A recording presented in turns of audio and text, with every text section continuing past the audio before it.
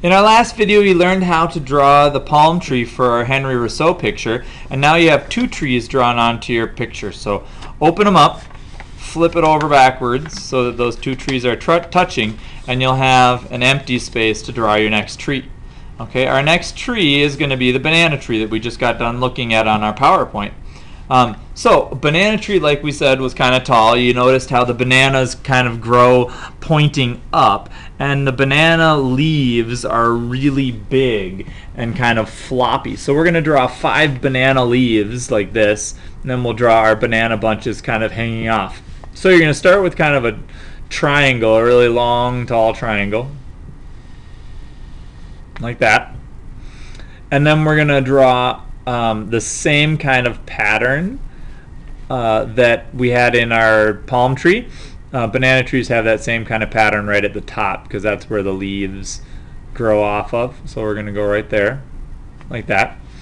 And then we're going to draw five leaves. We're going to draw one kind of here, a curved line, another one up here, curved line out, a curved line here, a curved line here, and then one kind of just growing right out of the top. Okay, so we're going to have five altogether.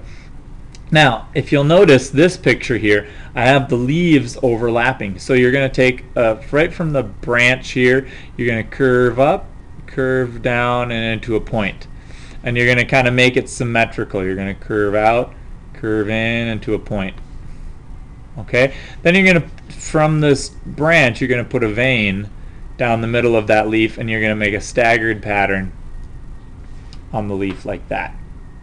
Now the next leaf you're going to do exactly the same way but you're going to have to overlap it. So I'm going to start at the top, curve up, curve down, and then here I'm going to run into that leaf, pretend all the way through and come over here like that. And I'm going to put my vein in the middle, make my staggered pattern like that, and do the same thing on the other side. Okay, curve up, curve down, down and up, put the vein in, staggered pattern, same thing here, curve up, curve down, curve down, overlap underneath there, and put my vein in. And now the last one is a little bit different. Okay, and the last one we're to do so it looks like it's flipping over backwards, far like flipping away from us. You're to do kind of a U-shaped curve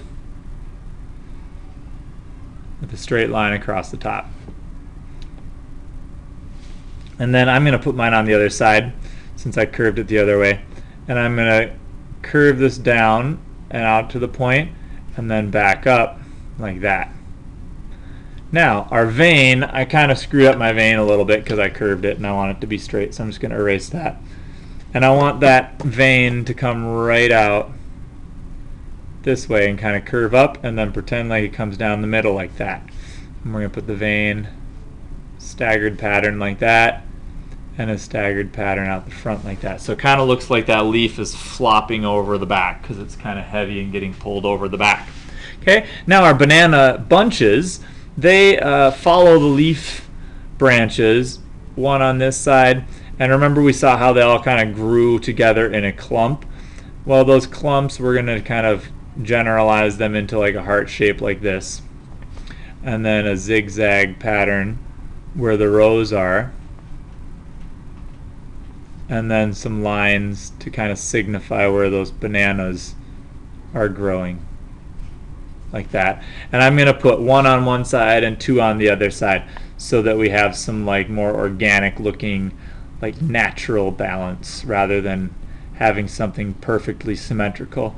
Because nature is very rarely symmetrical like perfectly symmetrical right? So there's my one banana bunch my second banana bunch. Okay so there's our banana bunches on our banana tree. I'll put the horizon line in so our tree looks like it's sitting on the ground. And there's our banana tree okay? And that concludes that for our Henri Rousseau picture